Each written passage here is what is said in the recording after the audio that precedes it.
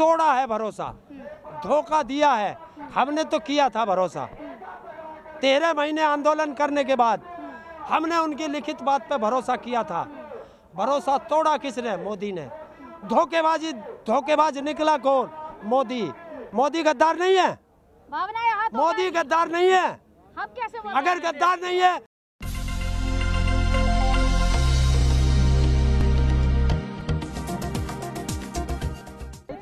आंदोलन करोगे? यही कह रहे हो आप? हम ये कहने आए होश में आ जा। किसानों से किया वादा पूरा कर ले। वरना अब के दिल्ली संसद। ट्रैक्टरों के बम्पर मज़बूत। एरे गहरे बैरिकेटिंग जेल है उनके पास सीबीआई उनके पास सीडी उनके पास आईटी तमाम एजेंसियाँ हैं। तो क्या हो गया? पुलिस फोर्स है। गिरफ़्तार कर जेल भेज देगी कितनी कितनी फोर्स है? दो लाख दस लाख बीस लाख? और कम- 135 करोड़। सत्तर परसेंट किसान। कालो मारेंगे। अरे यार इनको छोड़ तू।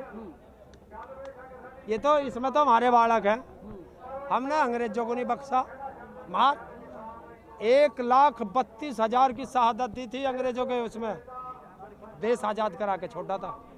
पर यह आज़ादी की दूसरी लड़ाई है। जितनी शहादत चाहिए सरकार को खुली छूट है।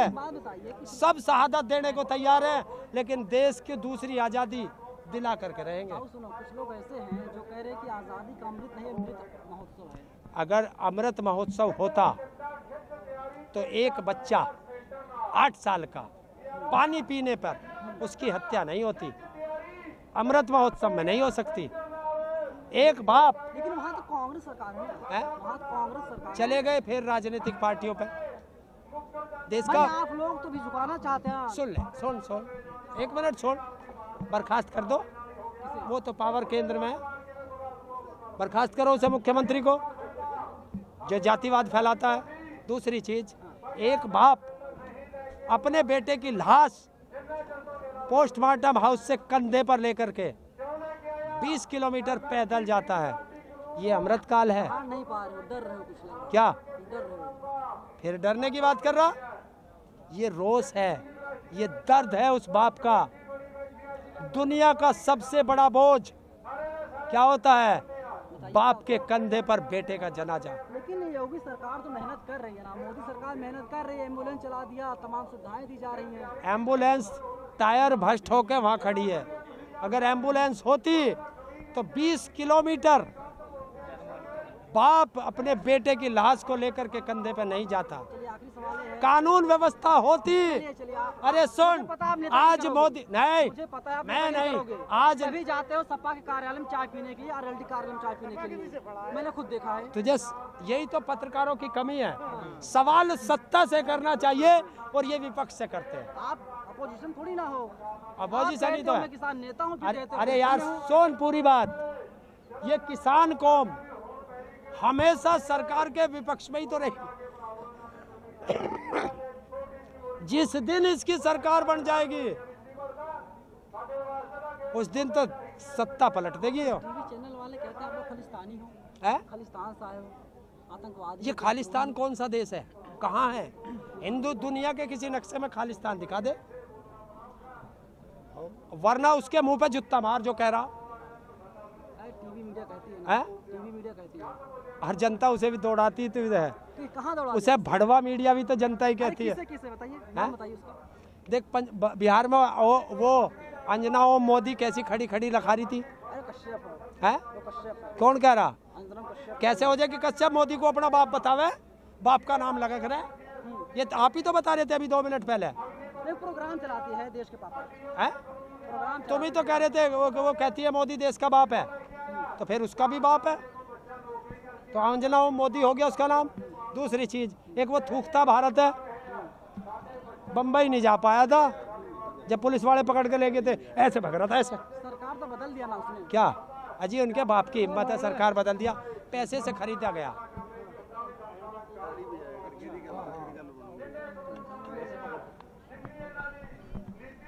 तो ताऊ अब ये बताइए कि अब क्या करेंगे? यहाँ पर आप आ गए हैं दोबारा से यहाँ पर बैठ गए आके।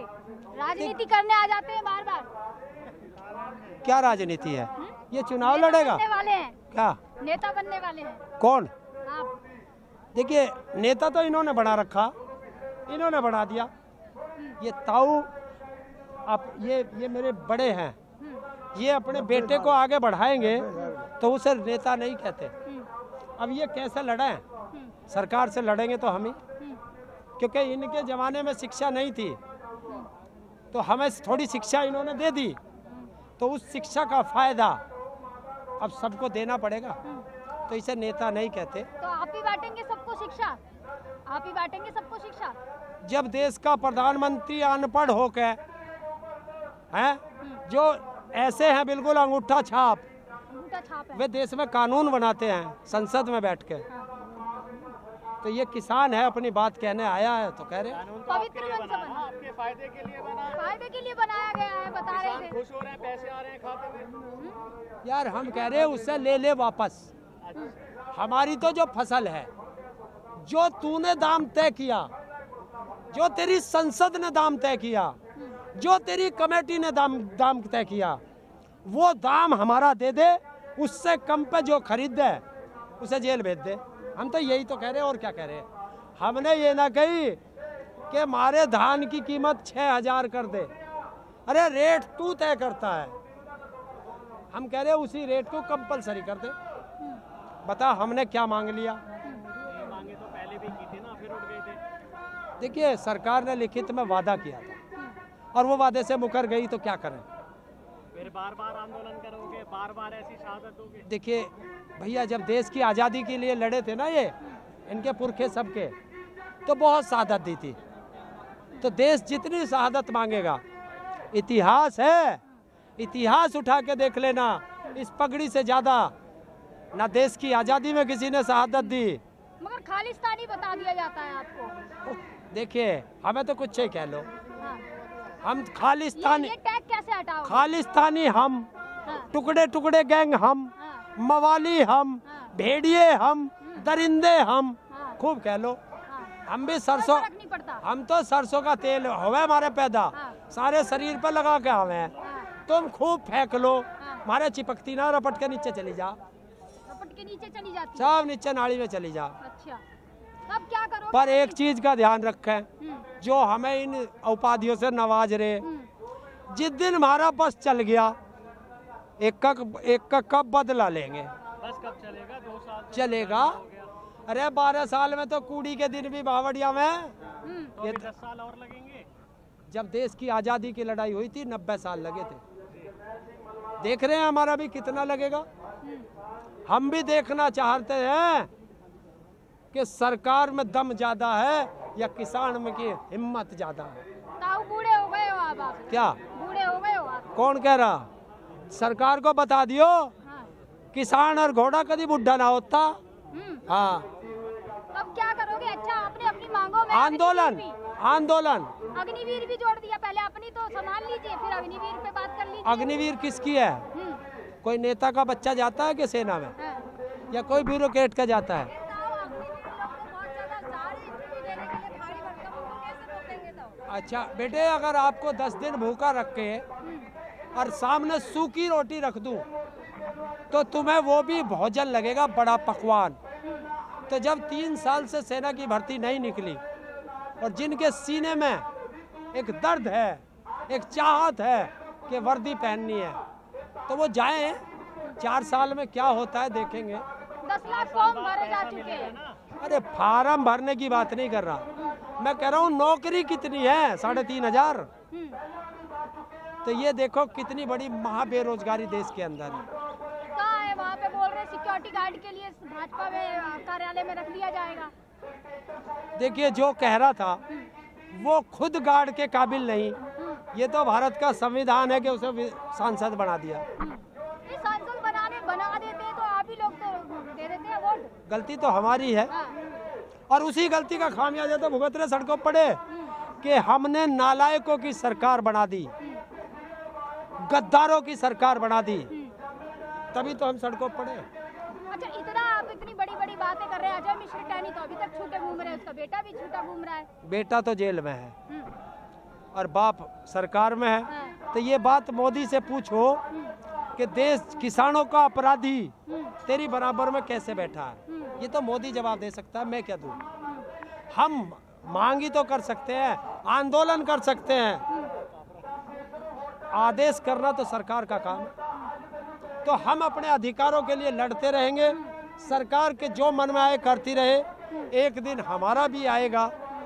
और एक एक चीज़ का हिसाब मोदी जी यही दे करके जाना पड़ेगा भरोसा नहीं है प्रधानमंत्री पे। अब भरोसा पवित्र मन से वो आपके लिए कानून लाते हैं और आप लोग जो है देखिए अगर भरोसा होता तोड़ा है भरोसा। धोखा दिया है। हमने तो किया था भरोसा। तेरह महीने आंदोलन करने के बाद हमने उनकी लिखित बात पे भरोसा किया था। भरोसा तोड़ा किसने? मोदी ने। धोखेबाजी धोखेबाज निकला कौन? मोदी। गद्दार निकला कौन? मोदी। गद्दार बता रहे हैं प्रधानमंत्री हैं देश के। है? देख फिर वही बात है। हाँ। मैं प्रधानमंत्री पद का सम्मान करता हूँ। मैंने कहा है गद्दार है मोदी। तो मोदी गद्दार है। प्रधानमंत्री नहीं मोदी गद्दार है। है? किसी के माई के लाल में हिम्मत है जो मुकदमा कर दे। भावनाएँ हाथ हो जाएँगी। मोदी गद्दार नहीं है। भावनाएँ हाथ मोदी गद्दार नहीं है। हम कैसे अगर गद्दार नहीं है तो देश का पैसा लेकर नीरव मोदी भागा कैसे? कैसे भागा? गद्दार नहीं है नीरव मोदी। जो पैसा लेकर और मैंने पीएम कहा कही? ये देखो कितने अपनी बात अपनी चीत अपना पट कर रहे हो। मैंने कहा गद्दार है मोदी और गद्दार है पैसा लेकर देश का भागा हुआ। अच्छा। ये ताऊ है थारे झांसे में नहाने का ध्यान रखना। हाँ। सही है ताऊ। तो नेता बन ही जाओगे अब आखिर में। ये ताऊ जीवन में कभी चुनाव नहीं लड़ेगा। ये लिख ले। आज कह रहा हूँ ये ताऊ बेतली का लोटा नहीं है। लड़ना चाहिए जब इतना अच्छा बढ़िया बोल लेते हैं तो लड़ना चाहिए। क्यों? ये फिर ये मुझे भी डंडे में झंडा झंडे में डंडा मज़बूत लेके दग हाँ, क्योंकि जो भी संसद में पहुँच जाता है वो नालायक हो जाता है धोखेबाज हो जाता है। अपने ऊपर भरोसा नहीं है आपको? है? अपने ऊपर भरोसा नहीं है मुझे तो भरोसा अकेला क्या करूँगा उनके बीच में? हाँ, एक दिन जब सारे बदलेंगे तब ये जाएँगे, युवा जाएगा मेरा। कम से कम लंबे समय तक काम करेगा। चलिए, ठीक बहुत बहुत शुक्रिया। तो अभी हमारे साथ थे हरेंद्र ताऊ तो उन्होंने आज जो है समा बाँध दिया है। आप देख सकते हैं किस तरीके से उन्होंने बातों को अपनी रखा है, और बिल्कुल भी जो है उन्होंने एकदम तरीके से बातों को रखा, किस तरीके से किसानों के साथ अन्याय हो रहा है, किस तरीके से अजय मिश्र टनी, जो आज तक जो है उसका बेटा अभी जेल में है, लेकिन उसके बाद जो है उनके पिताजी अभी तक बाहर है, केंद्रीय मंत्री हैं। लेकिन आप देखिए, लगातार जो इनकी मांगे हैं, वो एमएसपी कानून को लेकर भी है, लगातार जो इनकी मांगे हैं, फ़सल को लेकर है। लगातार जो इनकी मांगे हैं, जो अग्निपथ जैसी योजना लाई गई है मोदी के द्वारा, वो भी इन्होंने अपनी मांग पत्र में दिया है। आप देख सकते हैं कितनी तादाद में यहाँ पर जो है किसान भाई लोग जुटे हैं, पंजाब से, हरियाणा से, यूपी से, मध्य प्रदेश से जगह जगह से यहाँ पर सभी लोग यहाँ पर मौजूद हैं। तो सोचिए एक बार फिर से ये लोग जो है यहाँ पर मौजूद हो चुके हैं और यहाँ पर फिर से एकजुट लड़ाई लड़ रहे हैं अपने अ, किसान भाइयों के लिए। जिस तरीके से किसान खेती में मर मर कर खेती करता है लेकिन उसके दाम उचित नहीं मिलते हैं उन्हें। तो इसी के चलते यहाँ पर लगातार यहाँ पर लोग मौजूद हैं। तो आप इसी के साथ देखते रहिए जनित आवाज़ मेरे सहयोगी धर्मेंद्र के साथ में पूजा जंतर मंतर दिल्ली।